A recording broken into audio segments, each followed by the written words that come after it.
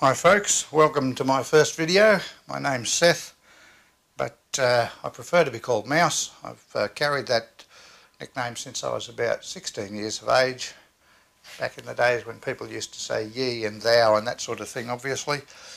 Um, hence the name of my channel, Mousemade. This is my first video as I said, and so if I stuff anything up, forgive me please. I've tried, I've run a few trials, so hopefully this will be okay. I've got the exposures right and all that sort of thing. Now all I have to do is make sure that my jab is halfway intelligible.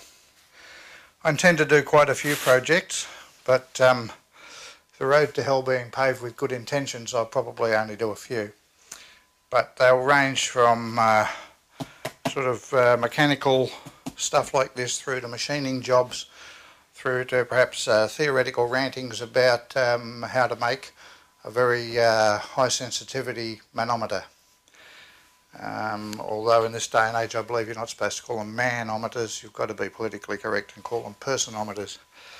Uh, that's one that actually is on my list of things to do. But today, let's get started on this. This is, as you may have worked out, a tractor seat. It's off a Ford 2110, I think, that belongs to a friend of mine and um, he bought it recently second hand and its previous owners have obviously thought that um, a vinyl covered seat with a row of stitching in it here is uh, is going to be completely impervious to the weather and therefore it should be left outside. Well, that's As you can see, they've probably stuck the, the seat on its tilt forward to keep it safe, but um, that's exposed this part to the weather and even worse the water's still got inside. The water is in the foam padding in here. I can feel that that's damp. And of course it's rusted out this leading edge. So this is a repair by the way. It's not a restoration. Um, hence I'm not going to be super fussy about it although I am going to be reasonably fussy. Now the intention is can see this edge is very mangled and my intention is to cut this off across here using the angle grinder. Now I'll do it from the other side so that I can cut this without cutting this. This much heavier plate distributes the load of the mount into the seat and uh, we don't want to interfere with that.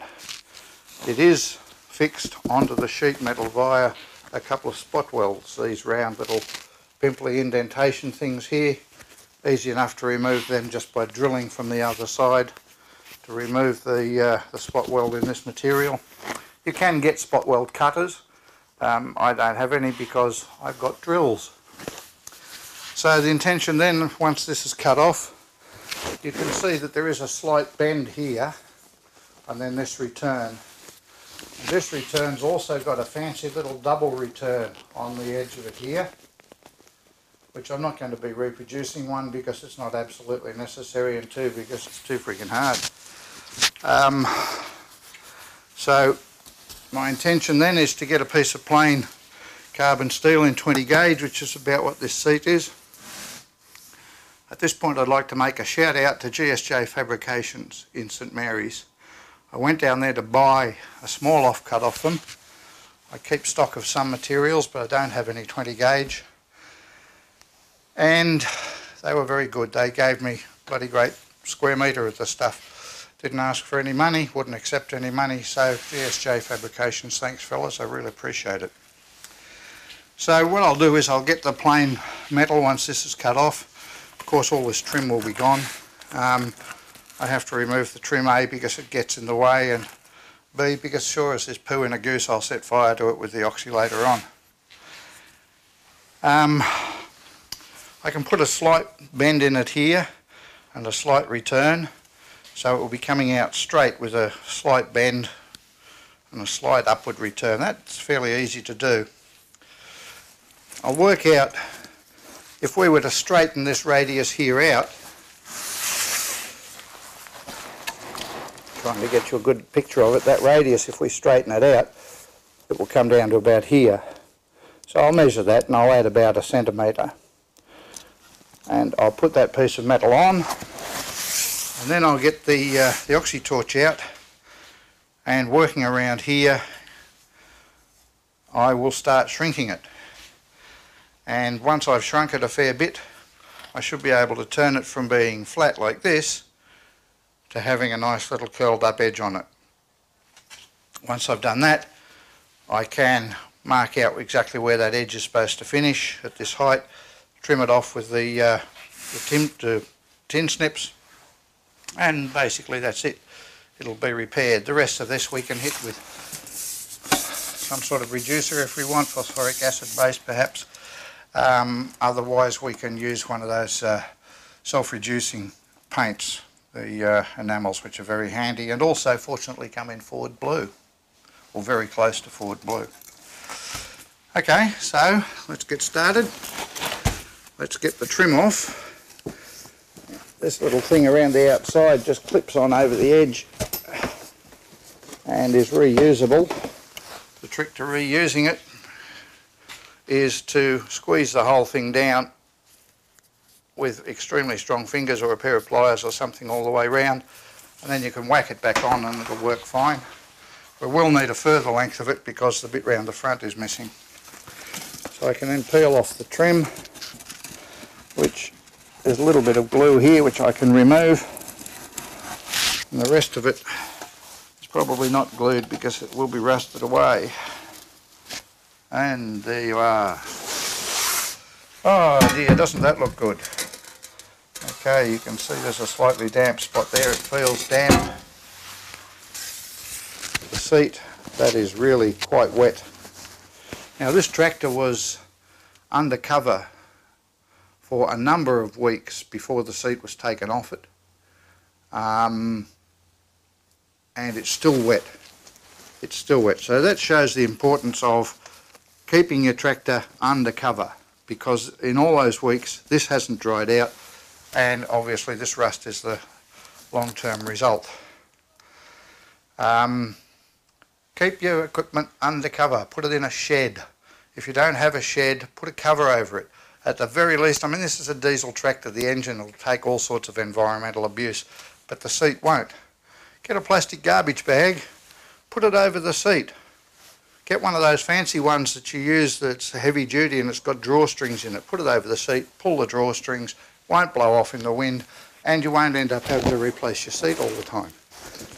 So I'll put that out in the sun to dry. I'm not going to open the door to the, uh, the shed at the moment because the sunlight will really stuff up the exposure on the camera.